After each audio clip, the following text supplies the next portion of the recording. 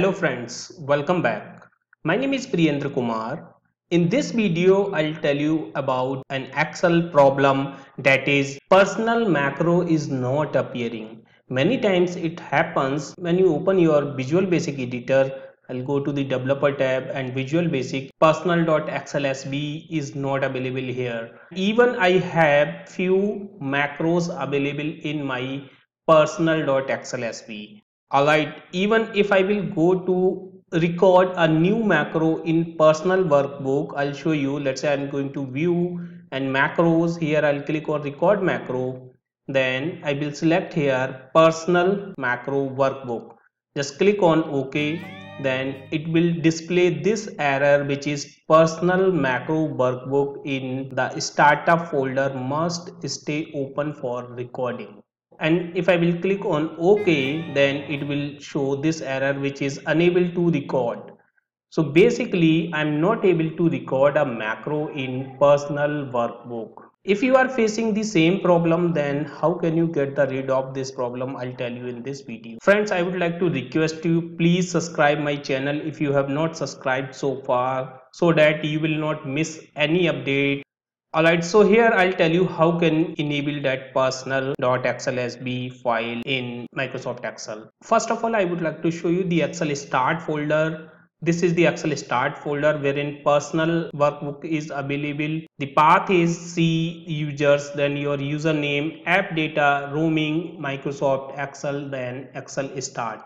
Here this file is available, but whenever I'm opening the Excel, this is not loading automatically now to get the rid of this problem I'll go to the file then option. So this excel options window will be opened or alternatively you can press alt t o.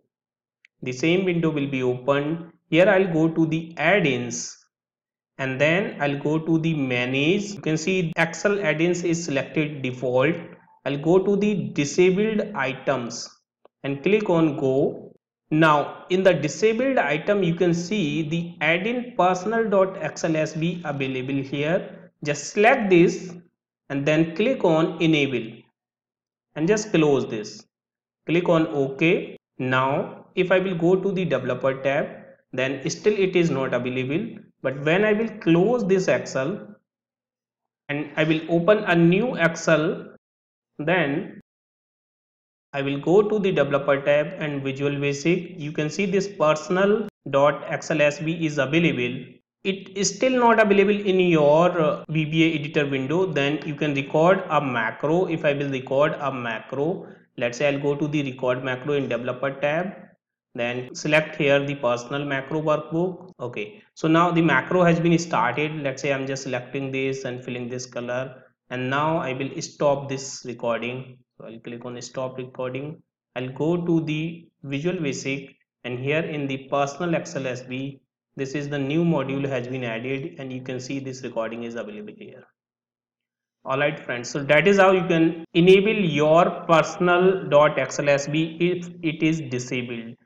Personal.xlsb is available in excel. If you will click on view and then click on unhide then you can see this is a hidden workbook which should be available here. I hope you have enjoyed this video. Thank you so much for watching